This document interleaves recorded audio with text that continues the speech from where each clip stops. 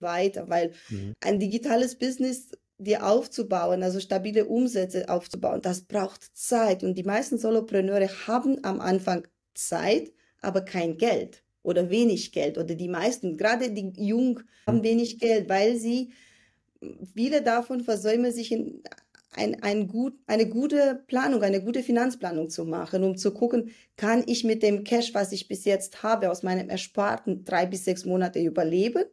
Mhm. Weil was, wenn keine äh, Anfragen, keine Leads reinkommen, weil mhm. du deine Positionierung nicht so äh, klar hast, weil du noch nicht genau weißt, äh, wie du die Zielgruppe erreichst, weil du verschiedene Gründe, lass es mal in, in eine Krankheit, die, die keiner kennt. Ja? Unter 1000 Follower oder 300 Follower oder bei 0 mhm. Follower startest. Ja. Es sind viele Parameter und äh, es ist für mich dann utopisch zu sagen, ich will von 0 auf 100 und am besten gestern. Mhm. Und das wird akzeptiert, wenn du sagst, machen wir mal das Ziel, was wir erreichen wollen, realistischer.